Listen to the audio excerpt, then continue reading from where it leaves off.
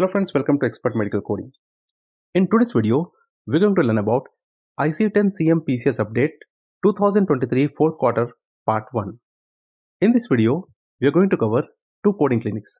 The first one is Acinetobacter baumannii sepsis and cause of diseases classified elsewhere and the second one is familial adenomatous polyposis and benign neoplasm of ill-defined sites of digestive system. So let's get started with the first one that is Acinetobacter baumannii sepsis and cause of diseases classified elsewhere. Acinetobacter baumannii is a gram-negative bacillus that can cause infections in the blood, lungs, urinary tract and wounds in various parts of the body. The update here is new codes were created to identify sepsis due to Acinetobacter baumannii and the code is A41.54 and Acinetobacter baumannii as the cause of disease classified elsewhere and the code is B96.83. So these two new codes were created and the next coding clinic is familial adenomatous polyposis and benign neoplasm of ill-defined sites of digestive system. Familial adenomatous polyposis is a rare inherited cancer predisposition syndrome characterized by hundreds to thousands of precancerous colorectal polyps. There are three types of FAPs classic, attenuated, and autosomal recessive.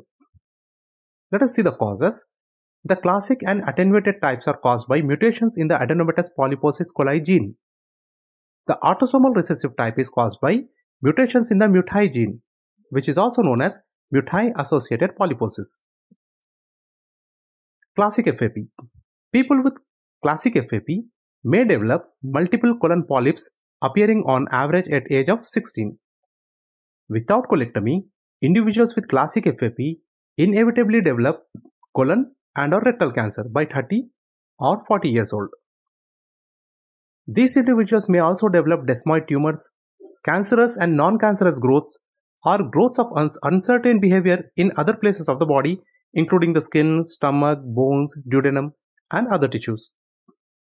Attenuated FAP In attenuated FAP, polyp growth is delayed with the average age of colorectal cancer development around 55 years old. Like classic FAP, benign and malignant tumors may be found in other places of the body.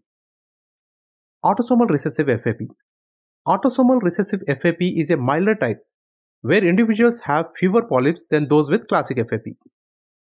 And the update here is code D13.9 that is benign neoplasm of ill-defined sites within the digestive system was expanded to create codes.